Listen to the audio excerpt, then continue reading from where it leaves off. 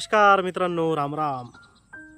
आणि राणादली पाखर या आपल्या चॅनलमध्ये तुमचं मनातून सर्वांचं स्वागत.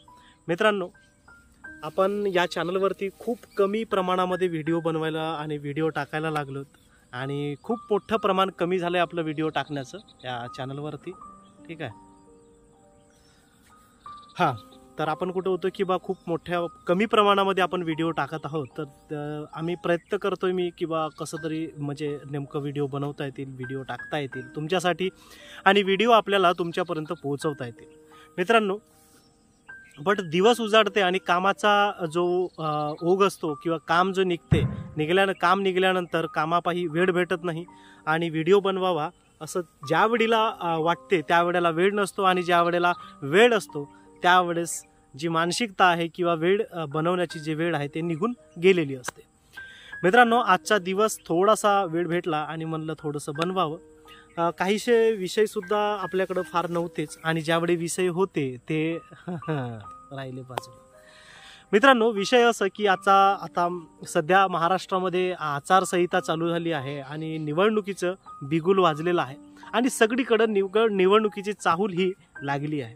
मित्रांनो आता तुम्हाला वाटेल किंवा हे काहीतरी पुन्हा नवीन सांगतंय पुन्हा पक्षाला किंवा कोणत्या तरी एका नेत्याला कोणत्या तरी उमेदवाराला निवडून आणा असं काहीतरी सांगणार. बरोबर आहे ना?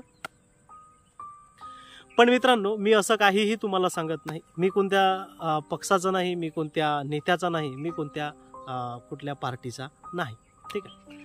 तर मित्रांनो तुम्ही तुमच्या सोयीनं तुम्ही तुमच्या सज्ञान बुद्धीनं ज्या व्यक्तीला निवडून आणावं वाटते त्या व्यक्तीला निवडून आणा. जो खरोखरच तुमचं काम करू शकते जो खरोखरच तुमच्या हाकेला धावून येते तसं तर हाकेला धावून यासाठी कोणी उरलेच नाहीत. ठीक आहे? तर परंतु तुमच्या सज्ञान बुद्धीला जे पटतंय जे योग्य व्यक्तिमत्व वाटतंय की जे योग्य व्यक्ती वाटताय त्या व्यक्तीला तुम्ही तुमचं मत करू करू शकता. तुम्ही त्या व्यक्तीला योग्य आपलं मत देऊ शकता आणि ते खूप मूल्यवान आहे. ते खूप त्याचं मूल्य करता येत नाही ते अमूल्य मतदान आहे. मित्रांनो तुम्ही जे ज्या व्यक्तीला निवडून आणाल तो व्यक्ती तुमचे प्रश्न तुमचा विषय तुमच्या अडचणी समजून घेणारा असला पाहिजे.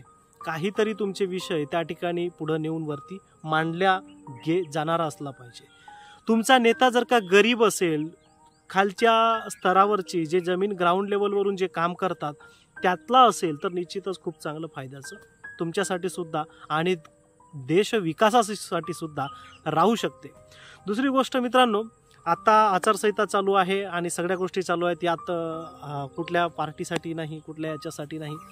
पण काही चॅनलवाले आहेत जे आणि जे मी इथं बसला होतो आता सहज आणि त्यानंतर मी म्हणलं चला आता मोबाईल टांगावं आणि थोडंसं बनवावं आणि थोडंसं तुमच्यासोबत काहीतरी दोन गोष्टी किंवा तुम्हाला काय मला काय वाटते ते मी तुम्हाला सांगावं. ठीक आहे? चॅनलवरती किंवा व्हिडिओ बनवणारे लोक व्ह्यूजसाठी काय काय निव उकांडे करतात ना काय काय कुटाने करत आहेत नाही हदच्या पार आहे. ठीक आहे? तर एक चॅनल ते आता काय नाव घ्यावं की नाही घ्यावं ते पण झाला प- म्हणजे एक प्रश्नच आहे नाही का? आता होऊ शकते एखादा तो व्यक्ती गरीब असेल आणि त्याला पैशाची गरज असेल तर निश्चितच व्ह्यूज मिळवण्यासाठी काय लोक वेगवेगळे प्रयोग करतात. एक व्ह्यू एक व्हिडिओ खूप मोठ्या प्रमाणामध्ये खूप पसरत आहे खूप म्हणजे खूप पसरत आहे आणि दररोज त्या चॅनलवरती कदाचित मी सांगितल्यानंतर तुम्हाला लक्षात पण येईल. दररोज त्या चॅनलवरती सकाळ झालं सकाळ झालं का दररोज त्या चॅनलवरती व्हिडिओ येतो? लाडकी बहीण योजना चे अडीच हजार प्लस साडेचार हजार. अडीच हजार प्लस साडेचार हजार. अडीच हजार प्लस तारीख डिक्लेअर झाली. आज पैसे येणार. तारीख डिक्लेअर झाली. संध्याकाळी पुन्हा एक व्हिडिओ तारीख डिक्लेअर झाली आहे. उद्या पक्का तुम्हाला तुमच्या खात्यामध्ये पैसे येणार. फक्त तुम्हाला हे काम करण्याची गरज आहे. लाडक्या बहिणींसाठी आनंदाची बातमी आजच जाहीर झाली. आजच जाहीर झाली.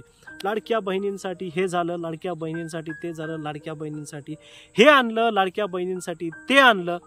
काय तुम्ही लोक लोकांची फसवणूक करताय आणि तुम्हाला कसं पटतं हे? मला हेच समजत नाही. मित्रांनो त्या चॅनलवरती आणि हे स्पेस स्पेस स्पेसिफिक मी त्या चॅनलसाठी नाही बोलतोय परंतु तुम्ही सुद्धा समजून घ्या प्रत्येकाने किंवा आदर्श आचारसंहिता राज्यामध्ये चालू आहे. कुठल्याही प्रकारचा डायरेक्ट बेनिफिशरीला लाभ देता येत नाही.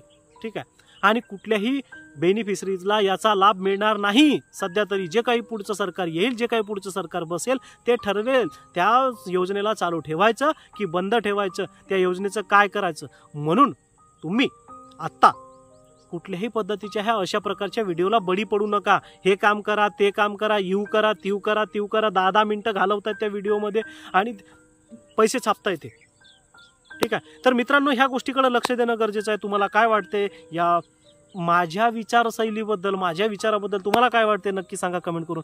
आणि पटलं तर व्हिडिओला लाईक करा शेअर करा इतरांना. आणि चॅनलवरती जर का नवीन असाल तर सबस्क्राईब करून घ्या. आणि सर्वांना माझा नमस्कार. आणि काळजी घ्या स्वतःची आणि आपल्या परिवाराची सुद्धा. सर्वांना नमस्कार.